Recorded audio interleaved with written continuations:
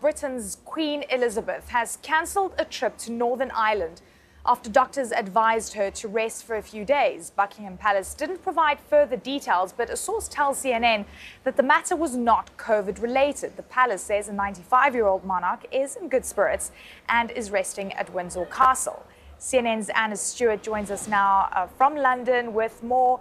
A very energetic 95 year old Anna. We know that uh, the Queen is usually always out and about at so many events and now being asked to take rest. Do we know um, is it because her health is deteriorating or is it because she's just been very busy? All we know is that she's been advised to take a few days rest by her medical team and she has taken that advice, albeit yeah. reluctantly. She was due to go to Northern Ireland this afternoon for a two-day trip to mark the centenary of the formation of Northern Ireland. She is an incredibly busy lady and she is 95 years old. She hosted a massive reception last night at Windsor Castle for business leaders, including the likes of Bill Gates. She's done several Zoom calls this week already with ambassadors uh, and the new Governor General of New Zealand.